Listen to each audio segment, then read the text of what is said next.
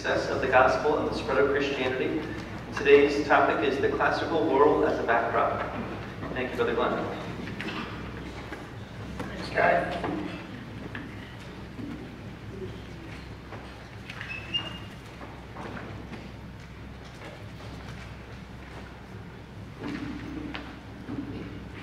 Morning, brothers and sisters. It's really exciting to be back here at uh, the gathering. Three years is a long time. Julie and I and Grant are uh, very, very happy to be with you. And, and our daughter Cassie Giordano is with us uh, this week too. Um, this, these last three years have been really uh, trying. It's um, something that's affected some people very harshly and severely, and others have kind of breezed through the isolation and the problems of COVID uh, with, uh, without too much difficulty. But people, in analyzing these last three years, have talked about it being the most destructive event in our lifetime. And when you think about it, you think about the ramifications of these last three years, I don't think we really fully understand the destruction that's taken place and it will become evident as the years go by. Um, COVID crashed the economy. Gross national uh, product fell uh, the most since the Great Depression. 22 million Americans lost their jobs in the first five weeks, and 5 million people have never returned to the workforce because of circumstances caused during COVID. Skip was telling me he retired during the, uh, the COVID epidemic. Every bad thing that we can think of seems to have gotten worse. You Think about in the news about drug overdoses, suicide, uh, the homelessness, illiteracy, the rise in, uh, in crime. You think about personal issues like uh, anxiety and depression and obesity and alcoholism. You think about marriages. Marriages have dropped. The birth rate has dropped during these last three years. And then, of course, the worst is you think about deaths that have occurred. And I know there's a lot of controversy over the number of people that have died because of COVID. But at least there must have been hundreds of thousands. It's been a, a very bad three years. But when we look at that, we say, Jesus is in control. We, we have that confidence and that faith that He is in control of these events and that they're leading somewhere, that they, that they mean something. And that kind of fits in with what we're going to be talking about this week, that we can have the confidence that, that God and His Son are monitoring and directing the affairs of the world, including what's been going on in the last three years. Now, have you ever puzzled about the first appearance of Jesus Christ and why the gospel was so successful? Why did the early Christians become so committed to this belief and to the teachings of Jesus? You know, Jesus was born and the message was preached in a hostile pagan environment. And it's amazing how the, the lessons that Jesus told at the fringe of the Roman Empire in the West or move to the West and eventually transform and change the Roman Empire. Uh, the religion, the culture, the politics, and eventually those beliefs and those behaviors by early Christians changed the world. And when you look at it and examine it a little bit, you're going to find that there are historical, identifiable markers that help us understand why this happened. There are things that occur in the culture. There's things about doctrine. There's things about the behavior of the believers that are all factors that impact why Christianity was so successful, why it emerged as a, a minority religion and became the official religion of the Roman Empire in less than 300 years. And in understanding these things, these, these factors, we can kind of get an insight into the lives of the brothers and sisters. We can see their amazing faith. We can see the hand of God involved in these affairs and, and kind of directing things that are going on. And we can reflect upon the turmoil that we are living in today and have confidence that God knows what he's doing. Habakkuk chapter 2 and verse 3 says, For still the vision awaits its time. It hastens to the end. It will not lie. If it seems slow, wait for it. It will surely come. It will not delay. And of course, that was spoken to the Israelites of old, but the same sentiment is true for us today. So this week, Lord willing, we're going to be looking at four aspects of the gospel as it was preached and how it impacted the believers and the Romans of the Roman Empire.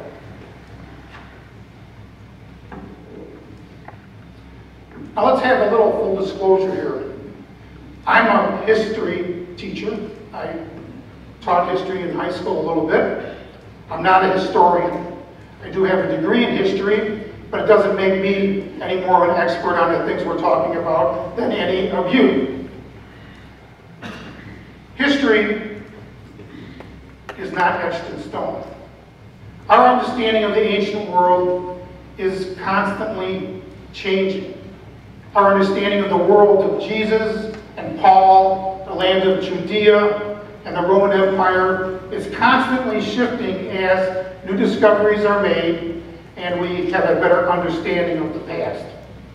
And we need to remember that the Bible is not a history book, but it's a book about spiritual principles. It's a book about salvation for individuals today, but in times past for a nation.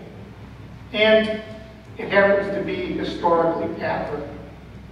Even if we don't understand now how it is historically accurate. Historians, anthropologists, archaeologists, scientists, and linguists are right now applying new technology to help us better understand the past and the Bible as we have it today. So I would propose that we really live in a very, very exciting time. And I'd like to start by just going over some examples of this new technology as it applies to uh, biblical history and to the Bible itself. But the first one is in uh, archaeology. Scientists use a technique called aerial archaeology now, LIDAR, L-I-D-A-R, which is light detection and ranging. It's the usage of lasers, airborne lasers, to map objects and structures that are hidden and not visible from the ground or without the use of a laser. And they've actually found, uh, especially, especially in uh, Central America, you know, tremendous finds that they didn't know exist because of the use of, of uh, airborne um, techniques in archaeology. And, and we also are continuing to have new archaeological discoveries. Scientists, I think this was in 2020, discovered evidence of an ancient biblical kingdom which they kind of had thought previously was a little mythical. That's the biblical kingdom of Edom. They thought it was a loosely grouped uh, uh, of nomadic tribes. But the archaeological finds confirm that Edom was an actual kingdom, that it existed much earlier than thought, it had a capital, it had kings, just like Genesis tells us, where it's mentioned, you know, 90 or 100 times. And then there's the discovery of the kingdom of Hartapu in Anatolia, which is modern-day Turkey. And the evidence suggests that there's some connection with the legendary Midas of the Golden Touch, uh, back from the beginning of the Bronze Age. And archaeologists and historians had no idea, didn't even realize that this kingdom existed until these archaeological finds were discovered in 2020. That's current stuff going on right now. There's an interdisciplinary application of science to ancient history and to the Bible. The usage of genetic and DNA analysis of ancient seeds and plants gives an insight into the, to the climate of that day and to climate change. And it also tells us about the origin and the migration of peoples from one region to another. There's molecular anthropologists and, get this, archaeogeneticists who are applying new techniques to this stuff. And they all help us to understand ancient history, where the Philistines came from. Uh, there's right now Israeli experts who gathered 10,000 ancient grape seeds, which they're studying to learn about diseases and population decline.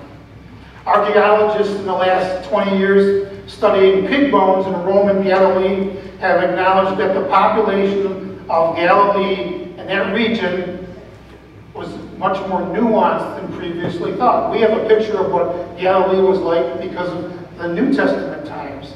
And the archaeological evidence shows that there were fluctuations within 10-year periods where the Jews had a greater population in comparison to Gentiles, but it was continually shifting. So there's, in a, in a microcosm, how archaeology is affecting a certain region at a certain time in the first century, but it happens to be the same time that we're interested in because Jesus is active in that area.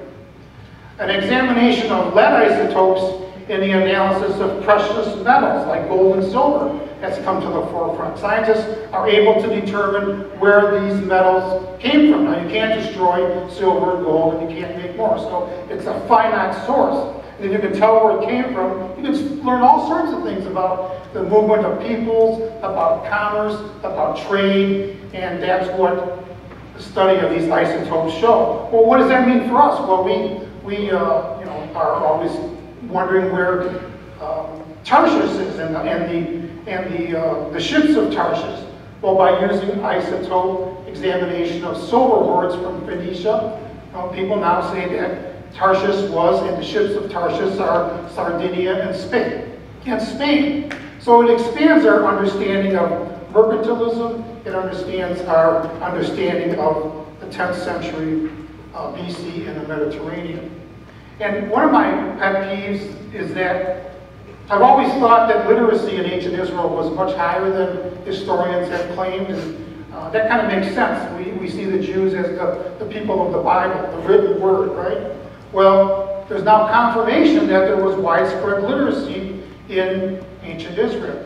A study of ancient texts from the kingdom of Judah show that many inhabitants were able to read and write, and that literacy was not reserved for just the elite, for the religious leaders and the political leaders, that it was much more widespread. And that makes sense because of the Jews' reliance on the written word. If only a few people could read, why would you have these wonderful books written poetry and, and soaring language describing God if it was only meant for a small class of people to read and talk about. The Jews were literate in the first century, and we have confirmation of that. Look how uneducated the disciples were, but they understood Greek, they understood Aramaic, they understood their own Hebrew language.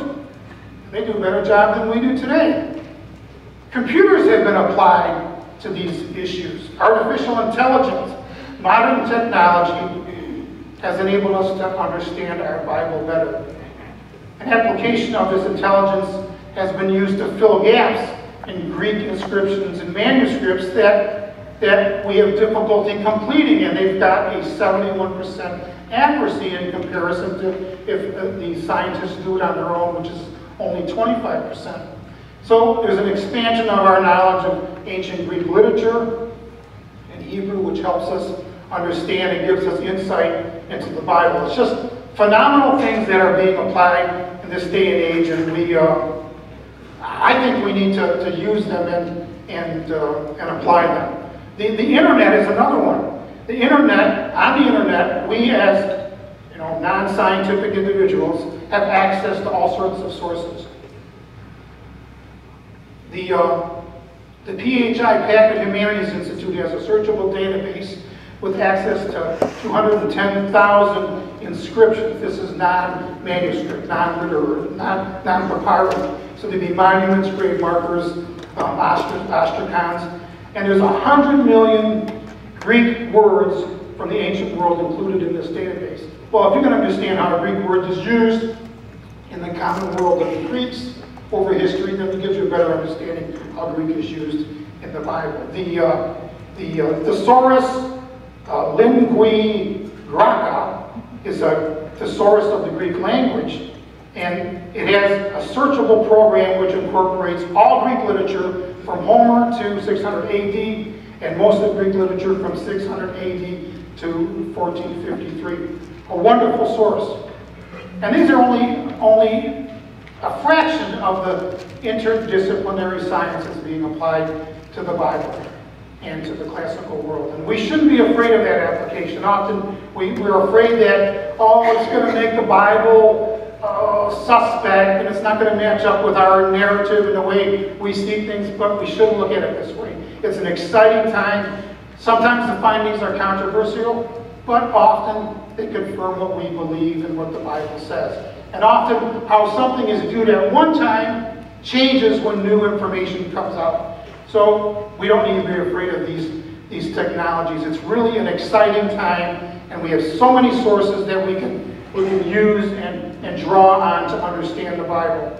The truth is, this, is that we don't always have enough information to really know about the ancient historical narrative. You'd be surprised how much is not there and how much we make assumptions on based on a limited, relatively speaking, a limited amount of information. And that narrative is constantly changing as new things come to light. Remember, there's you know, no documented eyewitnesses to a lot of this information. A lot of the information is second and third hand. Look at today. We don't even agree in politics and in in, in contemporary issues about why things happen and, and, and, and, you know, we disagree on all sorts of stuff. So why wouldn't it make sense that we would disagree based upon a more limited number of original sources? So we don't need to be afraid of it. We need to embrace it. So let me just give you a, a little aside. Everyone knows this verse, Luke chapter 2 and verse 1. Now in those days a decree went out from Caesar Augustus. This is the, the, the action that Joseph and Mary were impacted by when they had to go to Bethlehem. A lot of critics say that was wrong. This census never happened. We have no information about it. It was a regional census. It wasn't a empire-wide census. That issue is not resolved. But it's true, this census has not been preserved. In fact, none of the ancient Roman tax census or tax records have been saved. They've all disappeared. So it shows you how much information is not there and how much we don't have to go on when we make certain sources. Now, let me ask you a question.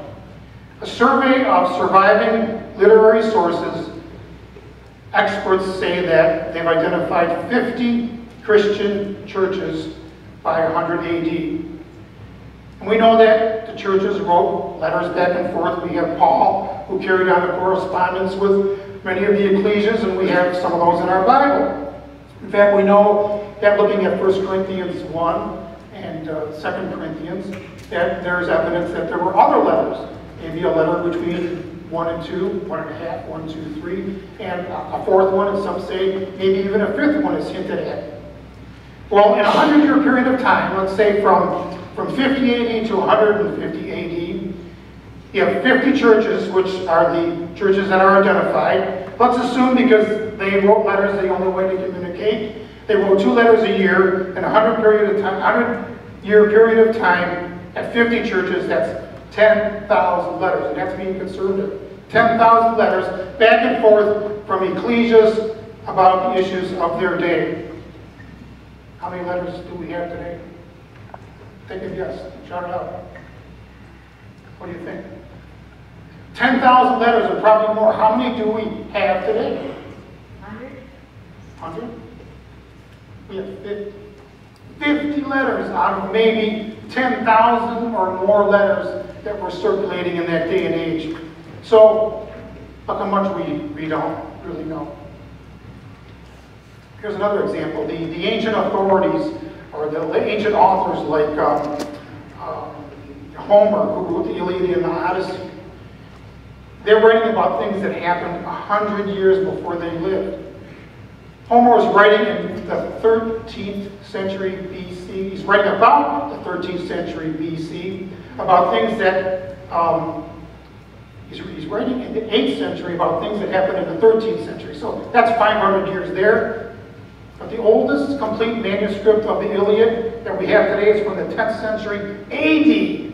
That's 1,500 years from occurrence, if it's true, from occurrence to manuscript. Bible manuscripts do better than that.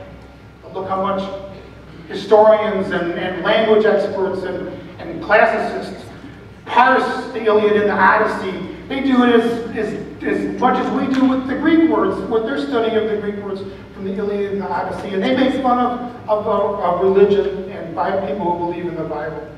Archaeologist and paleomagnetism expert Erez Ben Yosef at Tel Aviv University says that archaeology has overstated its authority. Entire kingdoms could exist under our noses and archaeologists would never find a trace. This in general, I think, is, is true. We make a lot of assumptions about the Bible and about history just as just as historians do. Often our modern cultural assumptions and our Bible translations create all sorts of inaccuracies. We have a bias. And one way to avoid interpretational misunderstandings and contextual mishaps is the continual study of antiquity, and the ancient history, and the original languages of the ancient texts. Those things are continually changing and our knowledge base is getting better. So we, we, we embrace those things and use them to uplift and encourage our faith.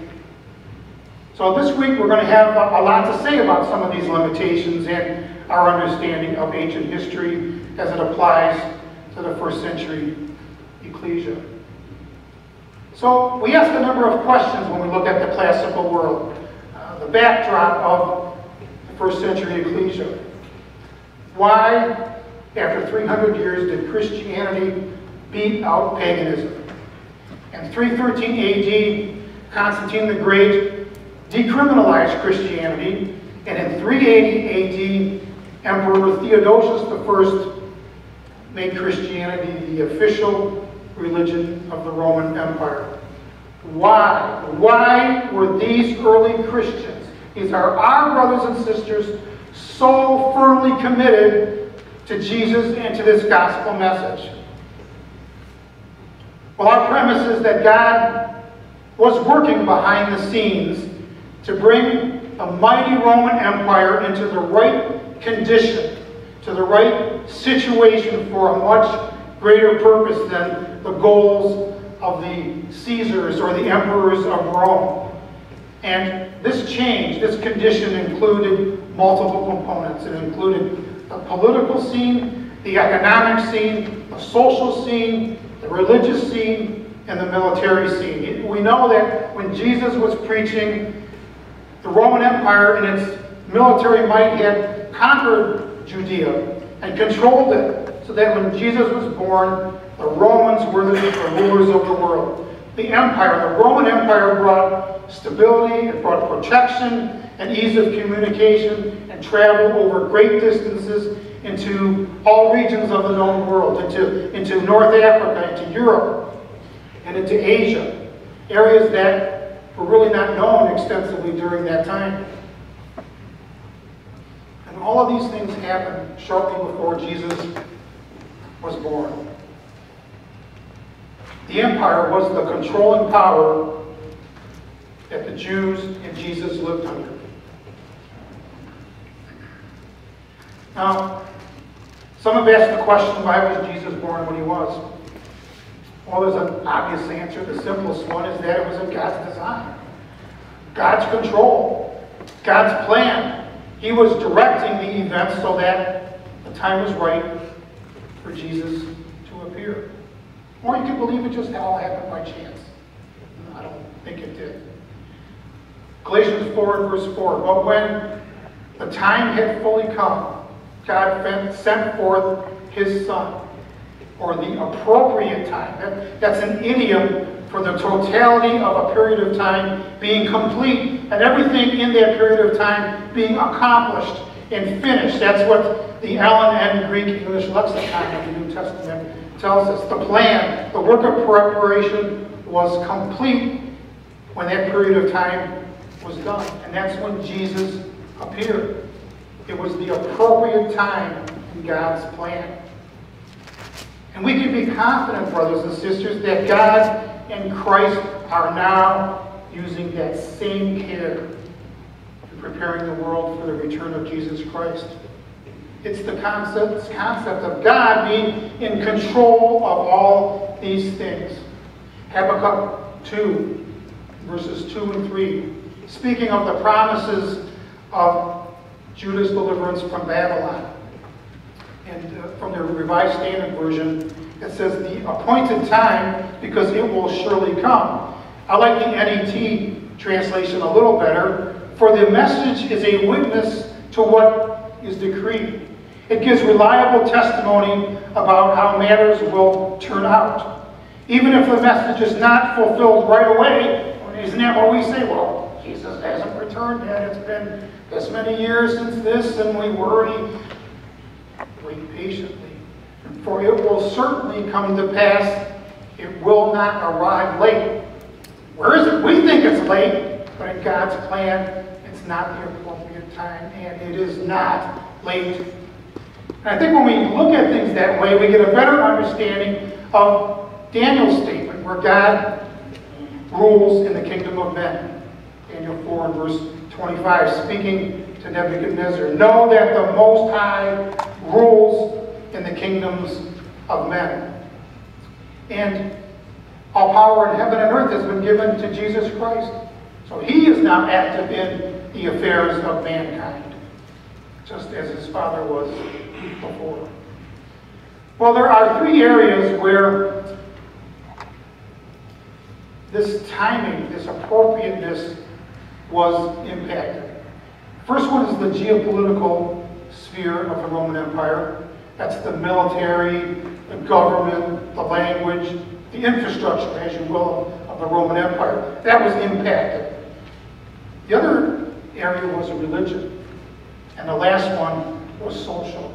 And all three of these things have a big impact on the gospel that's being preached. Why didn't uh, Jesus come earlier? Why wasn't he born earlier? Why was he born then? Well, you can examine ancient history and you can have some clues as to why the time when he appeared was the appropriate time. Just wouldn't have worked out earlier, and we can make an accurate assessment. We know the major periods. We know Nebuchadnezzar's dream, uh, Daniel 2, Babylon, followed by Persia, followed by Greece, followed by the Roman Empire. But you can look at each of those empires, and there's certain things that come and are evident that show us that it just wouldn't have worked out at that time. That the timing was not correct. You can look at the uh, relative sizes of the empires. Uh, the landmass of the empires, uh, the Babylonian Empire was the smallest of these. The Persian, which followed the Babylonians, was the largest in square miles.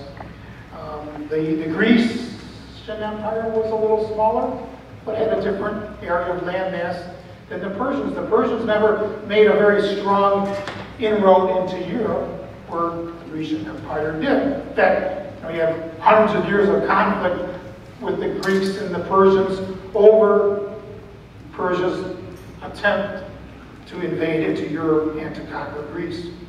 And finally, you have the Romans, which shifts the emphasis from the Levant, from the eastern part of the Mediterranean, to the western, but keeps control of Palestine and Judea. So, you know, God is, is moving the governments and the empires of the ancient world and setting the stage as the Roman Empire only gradually shifts its emphasis to the west. If you look at the, uh, the Babylonian Empire, the most famous king was Nebuchadnezzar, and we know that Nebuchadnezzar was used to punish and reform the Jewish people. They, just, they survived and went into captivity after the destruction of Jerusalem in 586 BC for 70 years. The captivity worked. The Jews were reformed spiritually. And the consequence of their captivity is that they came back full of zeal, and under Ezra and Nehemiah, they rebuilt the city and the temple. But there are other things that happened during the captivity. Judaism was spread outside of Israel, outside of Judea and the formerly ten tribes of northern Israel.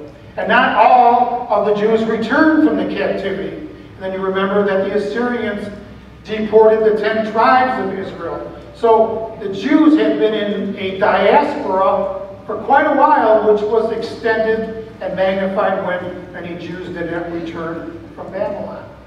The synagogue system was developed in captivity and became the center and focus of religious life for the Jews because why? The temple didn't exist anymore. The synagogue system continued to develop and continued right down the time to the time of Christ. What about the Persian Empire? Well, the Persian Empire facilitated the return of the captives from Persia to Jerusalem. They were the ones that financed the rebuilding of the city and the temple. And as I said, the leaders were very zealous for the work. But what else did the Persians do? Well, the Persians introduced religious toleration. Their empire was so large that they let anybody believe and worship whoever they wanted as long as they contributed to the good of the empire. Persians also introduced to the Jews the concept that the ruler, the king, was a god. The Persians were defeated by the Grecian Empire, by Alexander the Great. I always say that the purpose of the Grecian Empire was to destroy the Persian. But I guess I'm a little biased to the Grecian over the Persians. It's interesting, in the last 25 years, there's been a, a tremendous increase in knowledge of the ancient Persian Empire. There are now departments and universities that study the Persian Empire. It was kind of like the neglected empire of the historical scene because we were always biased towards the Greeks. And the Greeks always thought bad of the Persians. And our Greek Western thought continued down to this day and age where, uh, who cares about the Persians? But it's a phenomenal uh, influx of new information about the Persian Empire. So the, the Persian Empire was destroyed by the Greeks, and they also introduced some other things, like the concept of personal freedom, the concept of the ownership the personal ownership of property, and, of course the Athenians and democratic thought. And all those things kind of have trickled down to what we have today in our democratic societies of the Western world.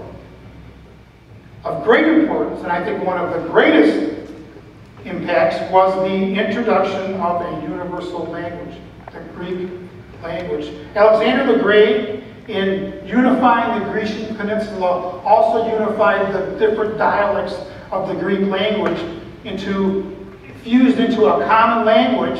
And then the armies of Alexander the Great, as they conquered the world, took that language with them. And because Alexander was interested in education, building up you know Alexandria and the library there, the Greek language became the language of the day. From Persia into India, and all the way into the west of the Mediterranean. People could speak, write, and understand each other. It didn't ever really happen prior to that. And it's especially important when you understand how that applies to the spreading of the gospel message. Because it allowed people who were interested in God, interested in the concept of the gospel and what the gospel talked about, and Judaism, because Christianity came from the roots of Judaism. It allowed people to understand these things even though they weren't speakers in ancient, ancient Hebrew. Remember, 200 years before Christ, the Old Testament was translated into what language? the Greek language, the Septuagint. The Greek language became the lingua franca across the empire. Cultural information was facilitated and, and transferred across all regions of the empire because of a common language. Jews who were living in Judea and in Levant and the diaspora spoke the Greek language. That's why you have in the New Testament discussions about Hellenized Jews, because they were being influenced heavily by Jew, by Hellenistic or Greek thought.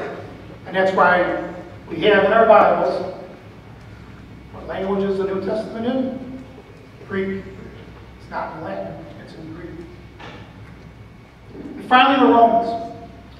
The Romans codified and assimilated a lot of Greek ideas, a lot of Greek thought. There was the ability to travel great distances in some safety. They expanded the empire, the celebrated Pax Romana, the Roman period of peace, 206 years from 276 BC to 180 AD. There was relative peace with minimum expansion. They controlled all coasts of the Mediterranean Sea. The Mediterranean Sea was called the Mare Nostrum, our sea, to us, the Romans. Most of travel was done by sea.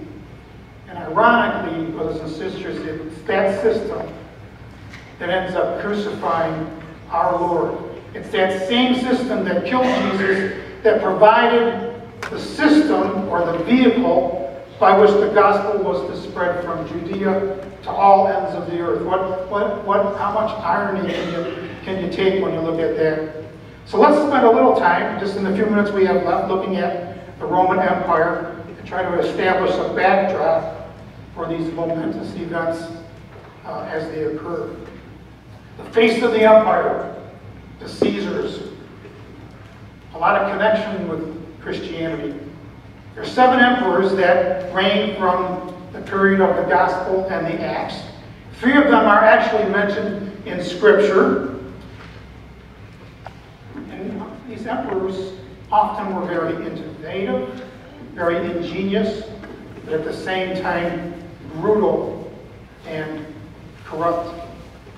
Julius Caesar united the Roman Empire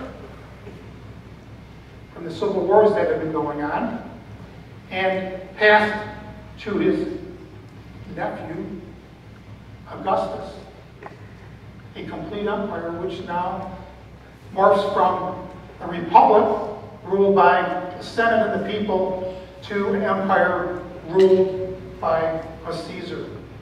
Augustus solidified the empire, he established order. Bandits and robbers and landed on the sea were put down and, and pacified. Good roads were set up, 53,000 miles of roads were built and maintained by the Roman government. Free communication from different parts of the empire, a postal system.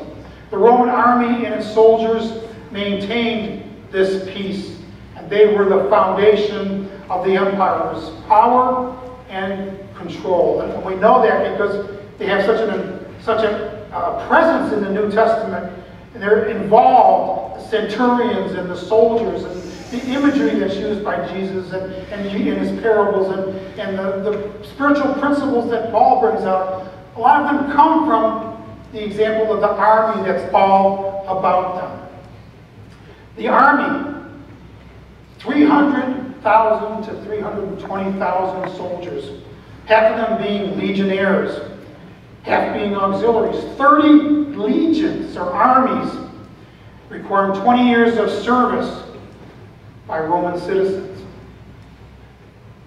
Rome gained complete control, control of the Mediterranean coastlands. Soldiers and armies were stationed on the frontiers in Europe and North Africa and in Palestine. There was law and order flowing from the empire, the Pax Romana. Speaking of peace and safety, it was the time of Augustus Caesar that Jesus was born. Travel by, by sea was eased. They were able to cover great distances. Roads enabled the army to travel easily and to keep the peace. The roads ran in straight lines between cities. Often there were rest stops and, and inns within 20 miles, just a day's march along these roads. And a lot of these roads are still used today if you are interested in exploring it. Commercialism in the 20, in the first century was highly developed. And most importantly, it relied upon shipping in the Mediterranean. The government, the Roman government, imported 135,000 tons of wheat a year to feed just the people in the city of Rome. They had a huge grain fleet. And we remember that the Apostle Paul in Acts chapter 27 traveled on a grain ship. There was far more travel in classical times than most people realized. Wayne Meeks,